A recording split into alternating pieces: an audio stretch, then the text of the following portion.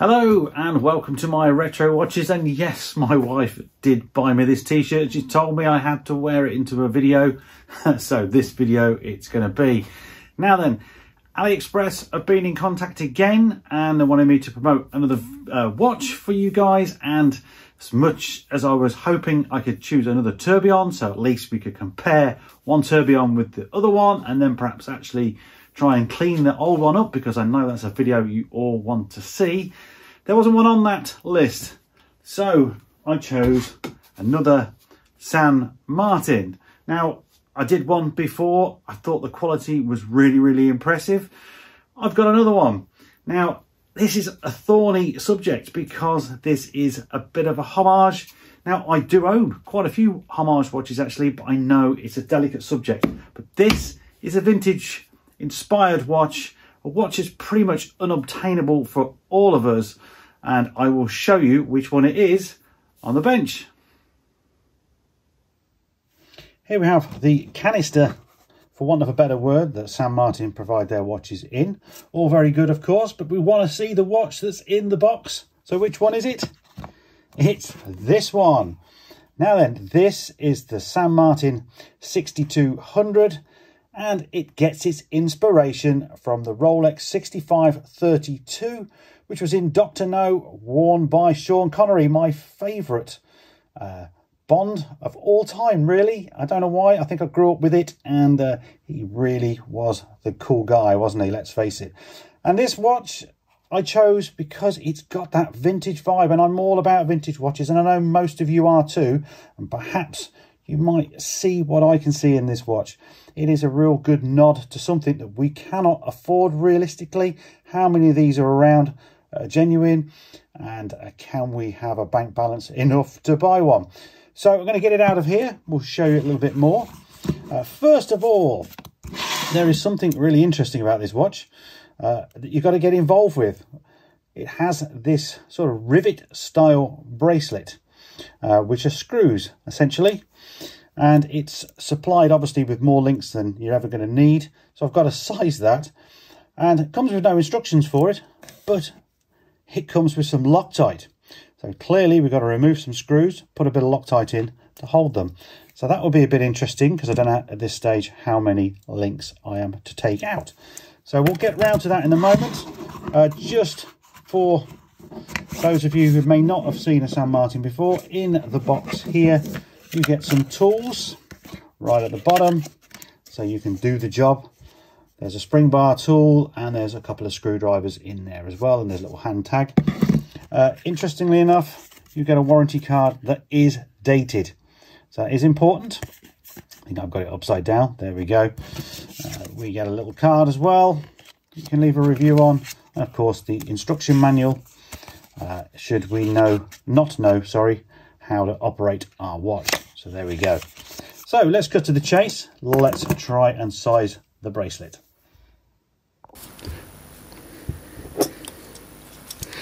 So you uh, see me now taking the second link out and they're pretty tricky to be honest with you. You've got a screw either side, uh, a small screw it goes into sort of a shaft screw and um, not easy because obviously you've got to use two screwdrivers. Uh, my suggestion is to use very fat-ended screwdrivers that fit the slot very, very well. And I'm going to attempt on camera, if I can, to uh, loosen them off.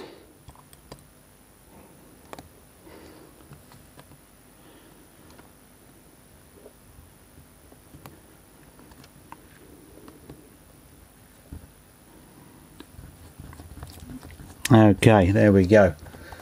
I'll bit off the screen. Uh, not the easiest of things. I put some tape around it as well, just to be 100% sure that I don't slip and I don't scratch. Because that's the last thing you want to do on a nice new watch. And there we are. There's the uh, the shaft, if you like, and the little tiny screw. So, you know, so far it's a bit hands-on. Uh, not for the faint-hearted that. I think uh, you've got to just take your time, certainly if you're not used to using screwdrivers, because like I say, you don't want to scratch the watch. Aesthetically, I kind of like the idea of this riveted uh, bracelet look, but uh, this uh, is a bit of a downside for me. Let's face it, I've now got to uh, put the next one in or the end link back in and actually use a bit of the uh, thread locker to be sure. And I can't really do that until I've sized it and, and know that it's completely perfect. So I won't bother showing the, the thread locker. All I will use literally is uh, an oiler can't get on, on the screen. Big wide oiler, I'll dip it in that and just put a little bit on the thread. Doesn't need much to be fair, uh, thread locker. It works uh, by the tightening. So there we go.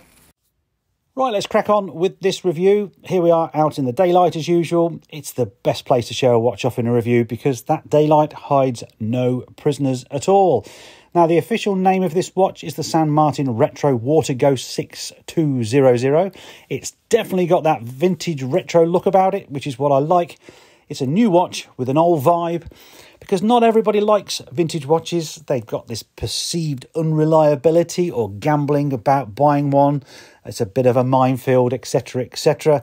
But here you can get the look that you're looking for with the reassurance, in theory, that you're not going to need to service that watch for many, many years. Okay, the design is not original, but then the watch it gets its inspiration from has been copied many times over the decades, and to buy the original is out of the reach for just about most of us mere mortals. Uh, here we can get the look and the feel without the worry of the costs that are involved to get the original. Let's start off with the specifics. The case diameter is a perfect 38 millimeters, which immediately makes this suitable for all wrist sizes, in my opinion. The bezel is slightly wider than the case at about 39 millimeters, but that actually gives you help to turn the bezel much more easily. Uh, the bezel insert is ceramic. It's not loomed other than the pip at 12. Uh, incidentally, the bezel does line up better than it looks on the pictures. Um, I'm editing the video afterwards and I'm noticing that I haven't quite lined it up and that is my fault, not the watches. Lug tip to lug tip is 46 millimeters. It's a bit longer with those male end links that you can see there, but more on that later in the video. The watch itself is 13 millimeters thick, and that'll also be due to the single dome sapphire crystal that does sit quite proud above the bezel actually, so it does add a little bit of height. And finally, the lug width is 20 millimeters, which is great for strap changes, but personally, I think this uh, riveted style bracelet suits it very well and I certainly wouldn't be changing it onto a strap, but that's just, again, my personal preference. Let's turn our attention now to the dial. It's a simple affair of printed loom hour markers with that vintage coloration. There's a nice train minute track running around the perimeter and it's finished with the Mercedes handset. Uh, all contrasting to the matte black dial Black and gold always goes well together, in my opinion. And I do actually like that second hand as well, having the loom circle and then the smaller counterbalance circle on the heel. At six is printed the waterproof rating of 200 meters, and to obtain that, there is a very plain screw down case back with no markings on it whatsoever. And I'm a fan of nice case backs. And this one's going to get a zero rating from me just because it's got no identity at all. Okay, it might be in keeping to the original, it's homaging, but come on, San Martin, you can do better than that, I'm sure. Uh, there's also a screw down crown to aid the water resistance, and that is signed with an S. The watch is a mismatch of logos. There's a lovely script on the dial saying San Martin, which I really do actually like. And then on the clasp, it's the new San Martin hexagon logo, which is embossed. It's actually very, very well executed. Uh, but this, I think, is a new addition to San Martin's identity. And they haven't carried that onto the crown. They've obviously kept the old crown, perhaps, with that S in. And it's a little bit of a shame. I think you could literally have all of these flowing quite nicely to give the watch its own identity. And now the classic loom shot. It's loomed with C3 Superluminova, which gives it that sort of green glow. And because it's kind of have that vintage vibe, it doesn't glow as brightly as some of the watches I've reviewed recently. However, it does seem to last for quite some time. And of course, it's very legible. San Martin are known for their case finishing. Uh, they're very proud of it. They mentioned it in the email to me uh, originally, actually. And I have to agree. This is my second San Martin to have a look at and it's done really, really well. The contrasting between the polishing, there's a little leading edge or a chamfer, if you like, uh, on the side of the case. that's really done nicely. It's nice and sharp. Uh, it doesn't seem to blend in with the brushing, so interesting to know really which one do they do first. Do they do the brushing first and then tape it off and then do the polishing? It'd be really interesting to see. I mean, it, clearly it's all done on machines, but they've got it down to a fine art and it's definitely not disappointing. That also carries on onto the bracelet as well. The bracelet is brushed lovely and then on the side on these riveted links, those side links, because they are sort of part of a link by looks of things, are highly polished, gives it that good contrast. But again, a little bit of uh, attention to detail really. And then finally the clasp, well the clasp has got four micro adjusts, so plenty of uh, room to get the sizing right and lovely brushing again on the top, uh, chamfered on the edge, polished, and then of course their applied logo, which is beyond me how they do that. Actually, it's really really well, you know, polished centers and things like that. Must be uh, a good tool that they've got in order to produce that finish. This watch is in their AliExpress store right now for 183 UK pounds. That includes uh, shipping, but it does not include any import taxes that you might have in the country that you live in. Now, this video is going out on the 28th of March, which is the AliExpress sale. So I'd expect to see a better saving in the sale. Uh, AliExpress have also given the channel a discount code, which is Retro Watch, all in capital letters, and that will give you $20 per $200 spent, I believe, on the platform. Uh, there's an affiliate link for this particular watch down below in the description, and of course, I do earn a small commission for any purchases you guys make.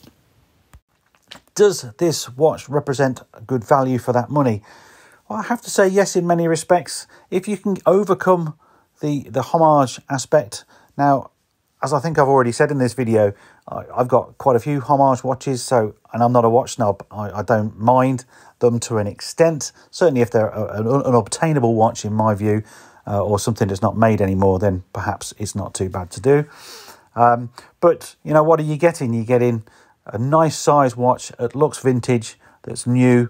It'll suit many people. This watch has sold very well actually, and there are quite a few dial variations. So you obviously you've got one I've got here. There's one that's got some numerals on it. There's one has a sort of a sunburnt orange. They call it a leather dial. I'll put a photo up of these, of course, and that one does look strange to me, but that might float your boat. I don't know. Go and take a look if you're interested. Um, there we go. That's the, the price bit out of the way. I want to move on now to the more important part. What does it look like on the wrist? Here's the watch on my 7 inch wrist. Fits really well, but that 38 millimeter case is the sweet spot by far. But pay close attention to those male end links. They kind of make you see the end of the bracelet, but you can buy female links, which is what I did. I fitted them and it transformed the watch completely and now it looks really really nice. I guess if you've got a smaller wrist that's what they're for. Of course if you've got larger wrists you probably wouldn't see it so pronounced. Here we are back on the bench and i have to say this watch is really aesthetically pleasing. It's as good as it looks in the video. I really do like this vintage vibe and I also quite like, and you can maybe just see it here, the crystal um, is just a domed sapphire. So you get that sort of distortion as well at angles, which the vintage ones did. But what lets it down is inside the watch is not the beating heart of a lion. It's a Seiko NH35. And just like the Phoebus before it, this one is running really badly. Um, the beat error I cannot live with at all. I'm not even going to check this watch in different positions. Um, and you can see there's a really poor trace on one side of the pallet fork. And that's why we're getting this sort of funny line there. Uh, that could be just a bit of debris. It's very difficult to say at this stage. And of course, I'm going to crack it open and I'm going to try and adjust that because uh, I just don't like it. And it's a shame really because these micro brands are starting to um, well, I'm starting to get quite impressed with the quality of what they can work with and what they can produce, but they're not checking the movements. They're just putting the movements in, putting the dials on and sending them out to the customer. And, um, you know, a little bit more R&D. You know, clearly San Martin are very good at their R&D. Their finishing is absolutely exquisite, but to send a watch out, it's got a beat error of 0.9, a rough trace on one side of the pallet, which is eventually going to cause some trouble. I can forgive the rate plus 14, not too bothered about that, although I will tidy that up as well. Uh, so come on, San Martin, lead the way and actually uh, regulate your movements before they go out the door as well. So with the back off and dial down position, of course, we're getting a, a much smoother trace. I would expect that, uh, but I'm still going to give it a nudge.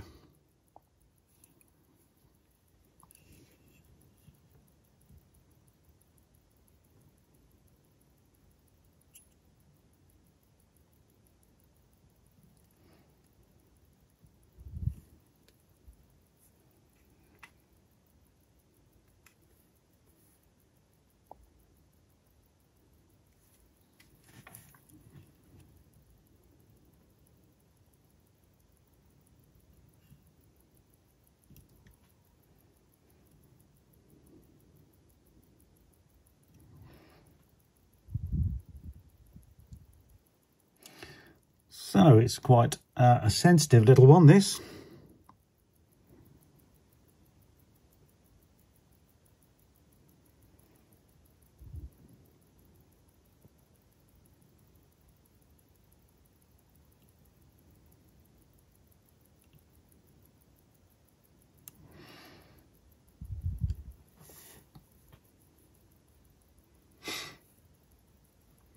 and that should have improved the beat error.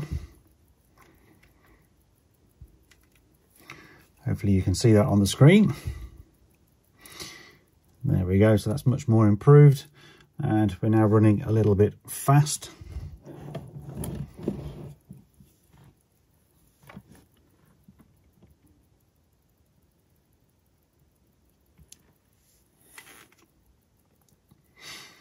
And that little nudge there, which you probably wouldn't have seen, will have calmed it down quite a lot.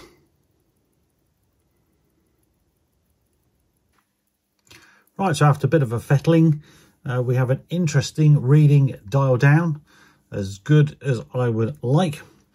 Obviously gaining five seconds, beat error is absolutely spot on. However, this watch has got a problem, and I think it's possibly a balance problem actually, because if I now turn it over to dial up. Uh, that initial reading we used to get out of the box is now much, much more scattered and worse. You can kind of see it creeping across the screen now. There's a lot of noise in the background. And uh, there's obviously a deviation, so the rate has changed. But I'm not entirely convinced uh, that this movement is as good as it should be. Uh, that's no discredit to San Martin at all, to be honest with you. What I will end up doing is taking the balance out and cleaning it and just see if that's going to make any difference. I think most people could live with that. It's still, uh, the rate is plus 12 seconds in this position and the beat error is 0.2, but you shouldn't see that much variation, I don't think, from dial up to dial, dial down, even on one of these. Uh, so I think that's what you get for mass-produced Seiko movements at this price point at the end of the day. Uh, this is still well, well within Seiko's tolerances that they give out. Their tolerances are huge, really. Um, so no surprise there. But there we go. That's the movement. Uh, I will sort that out for my own peace of mind. And if I do before the end of the video, then of course I will include it.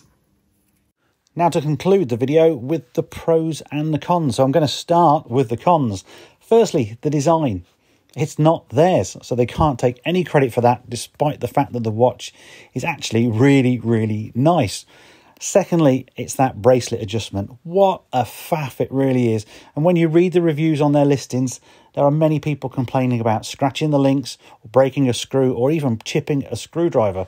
And I'm not surprised at all. I think they should include some sort of instruction about how to go about this, like using protective tape on the vulnerable areas, and the strict instruction as well to use the correct size screwdrivers, or even provide the correct size screwdrivers. The ones provided are just not really strong enough for the task.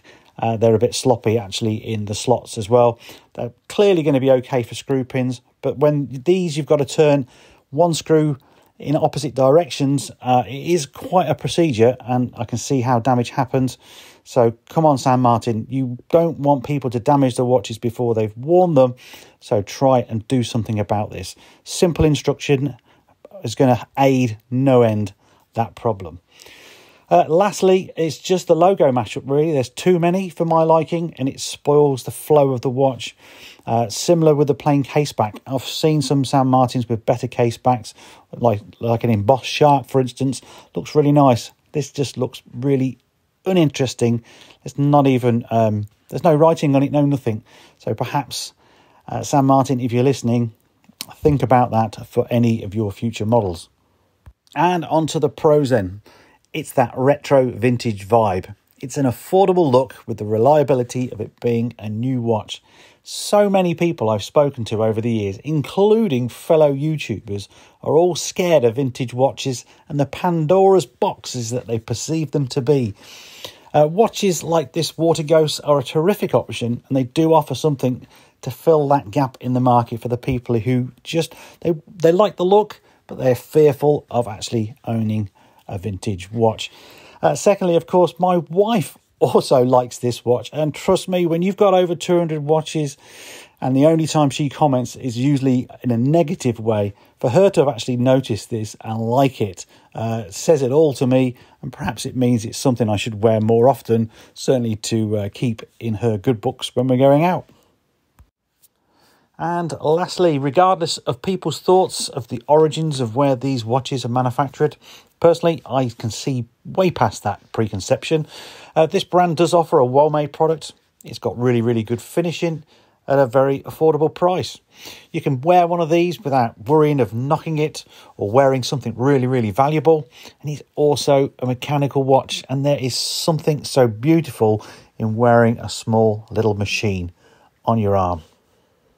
Right, that's it. That's the end of the review. So thanks very much for watching, everybody.